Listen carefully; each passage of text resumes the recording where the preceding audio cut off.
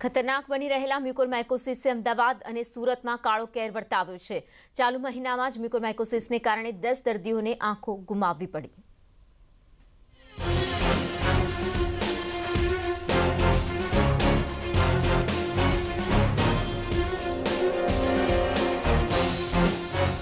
રાજ્ય પર વધ્યો મ્યુકોરમાઇકોસિસનો ખતરો.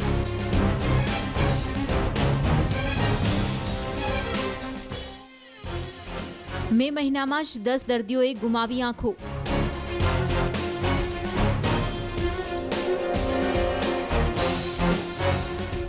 સર્જરી માટે એકસો પચાસ દર્દી વેઇટિંગમાં.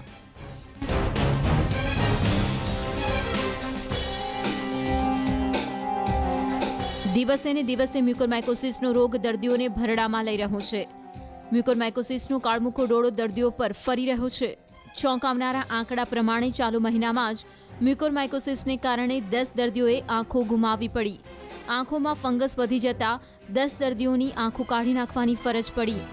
સૌથી મોટી વાત એ છે કે સર્જરી માટે હજી પણ એકસો પચાસ દર્દીઓ વેઇટિંગમાં છે. સિવિલ હોસ્પિટલમાં હાલ ત્રણસો પાંત્રીસ દર્દીઓ મ્યુકોરમાઇકોસિસની સારવાર લઈ રહ્યા છે. અત્યારે લગભગ બે ત્રણ દિવસ પહેલાં રોજના ચૌદેક પેશન્ટ આવતા હતા. આ સેટરડે સન્ડે ઓફ થયો એટલે આપણે ગઈકાલે ચાલીસ કેસ નોંધાયા હતા. આજે વીસ કેસ નોંધાયા છે એટલે એવી ઉતરચડ થોડીક ચાલુ રહે છે. અમે લોકો રોજના લગભગ પચીસથી ત્રીસ ઓપરેશનો કરી રહ્યા છે અને પેન્ડિંગમાં લગભગ દોઢસો જેવા પેશન્ટો છે. દોઢસોથી પોણા બસો પેશન્ટ્સ આ તરફ સુરતમાં પણ મ્યુકોરમાઇકોસિસનો આતંક છે. મ્યુકોરમાઇકોસિસે વધુ ત્રણ દર્દીઓને શિકાર બનાવ્યા છે. સુરતની સિવિલ અને સ્મીમેરમાં નવા સાત દર્દીઓ દાખલ છે અને કુલ એકસો પંચોતેર દર્દીઓ મ્યુકોમાઇકોસિસની સારવાર હેઠળ છે. Bureau report, news eighteen Gujarati.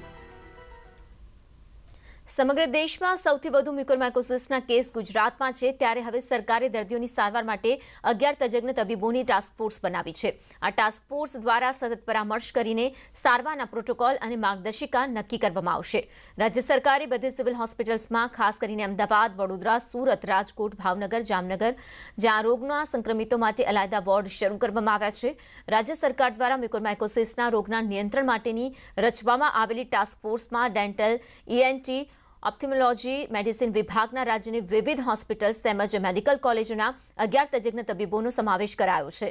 આ રોગચાળા સંદર્ભમાં રાજ્યના આરોગ્ય વિભાગે ગુજરાતમાં રોગગ્રસ્તોની સારવાર, વય અને જાતિ જૂથ તેમજ અન્ય બાબતો અંગે જે તે તારણો નિષ્કર્ષ કાઢ્યો છે અને તેની વિગતો રજૂ કરવામાં આવી છે.